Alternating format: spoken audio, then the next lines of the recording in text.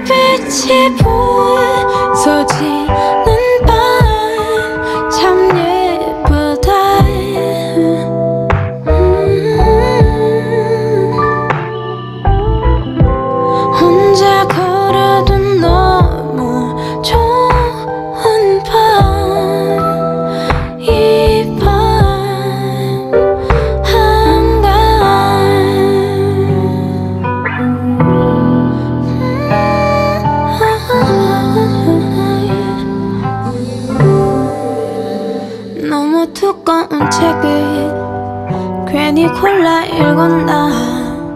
아무리 읽고 읽고도 진도가 안 나가서 무작정 집을 났어.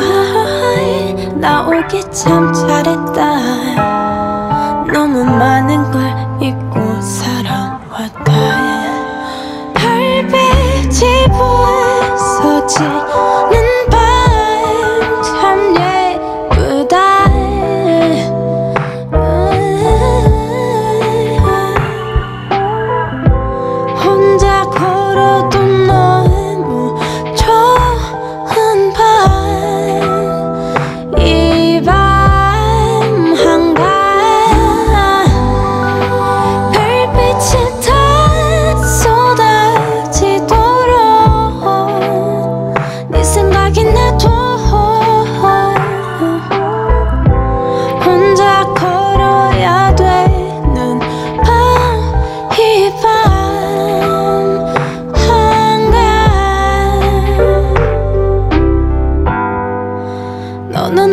가고 나 혼자 남았어